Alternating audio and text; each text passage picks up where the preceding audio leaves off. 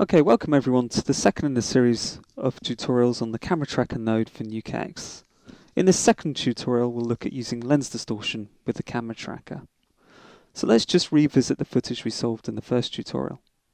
So this is a nice sequence.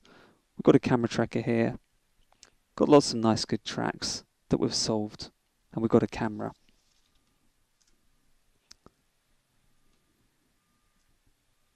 So this was the camera solve we had before. But we didn't use any lens distortion information in this shot, or any known focal length. But actually we shot a lens grid. So let's just read that in.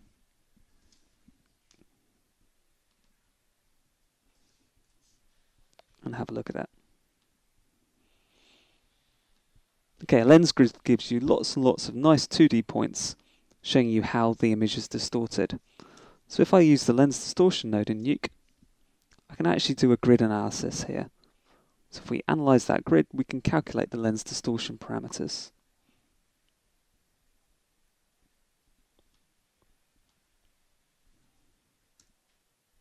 Okay, so now we've got the distortion parameters. We can use this in two different ways. We can either undistort the plates, create a camera tracker, and track and solve off the undistorted footage, camera tracker. So I would retrack from the undistorted plate. The other way is actually just to put the lens distortion parameters into the camera tracker. So here we've got a camera tracker that's tracked off the original distorted plate.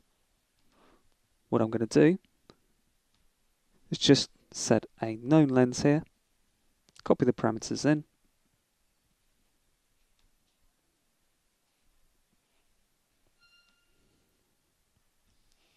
And now I can solve in the camera tracker using the tracks for the distorted plate, but calculate a camera for the undistorted footage. So I can undistort the plate using the camera tracker, hit solve,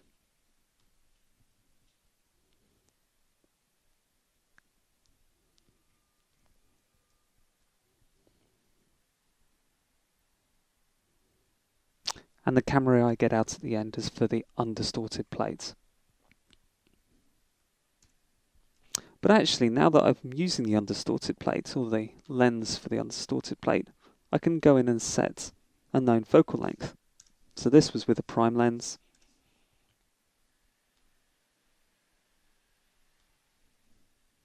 Twenty-four millimeters. I can resolve with 24 millimeter focal length.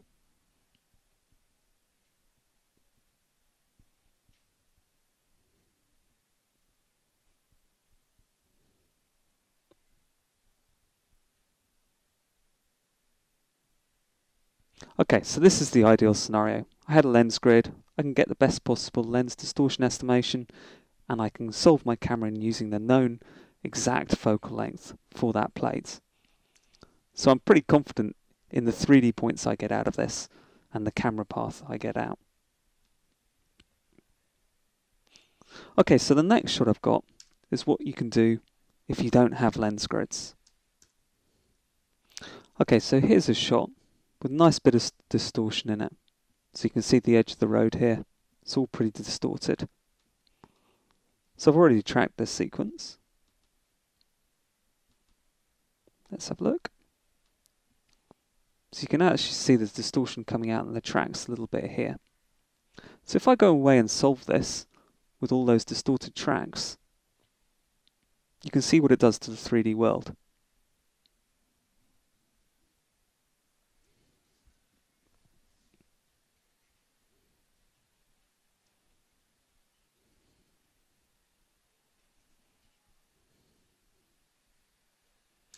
Okay, so let's switch to 3D and have a look. So what you can see here is that you've got a really curved point cloud coming out for what should be a pretty straight street. So if we create our scene, let's look at the camera path that we're getting out of that. So that's really curved. And that's essentially caused by the lens distortion in the footage. So there's different ways you can handle lens distortion if you haven't shot a lens grid. You can go into the lens tab and you can ask the camera tracker to estimate a lens for you. So you can say unknown lens. So we can go away and solve again. So what this will do is it will try and estimate the best possible lens up front and use that in the solve. So it's initializing its best estimate of those lens distortion parameters.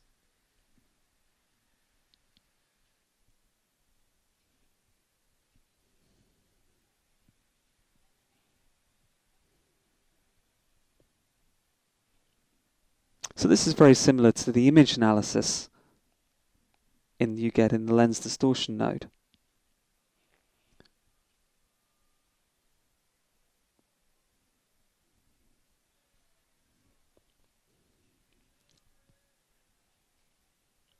Okay, so let's have a look at how that solve worked when it was trying to calculate the lens distortion.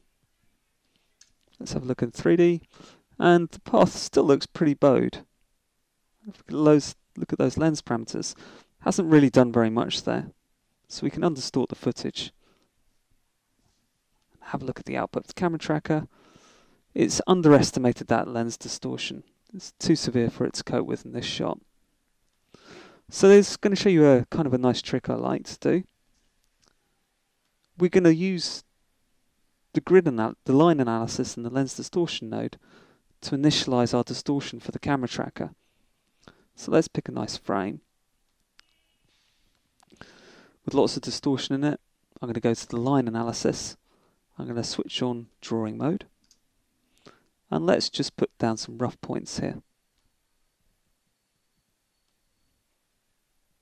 So all I'm doing is drawing the rough curves in for the straight lines.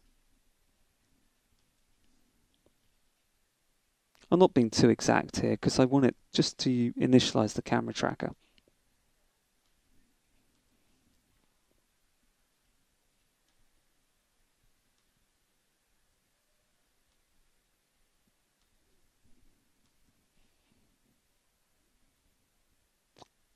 Let's add a few more in.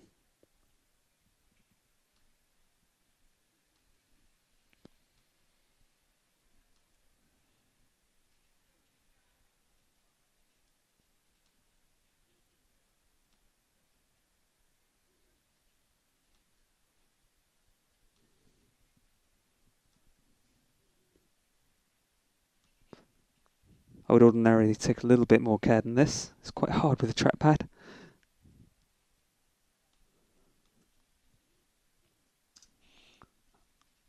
Okay, let's just analyze from the lines and have a look at that distortion. Okay, so what I'm going to do is I'm tell the camera tracker to refine a known lens and copy these parameters down. They look a little bit better.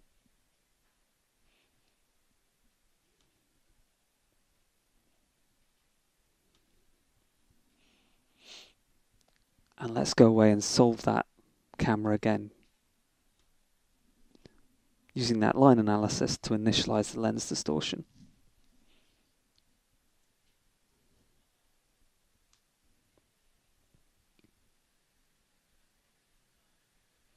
Okay. So what the camera tracker has done is it's picked up that initial lens model, it's calculated the 3D points, and it's optimized the parameters here for the lens to make sure that the reprojection errors are all sm as small as possible. So we've got a nice solve error coming in here, 1.1. So let's have a look in 3D and have a look at that camera path.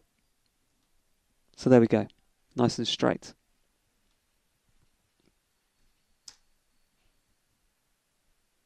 Okay, so that's the end of the second tutorial on the camera tracker node, how to use lens distortion.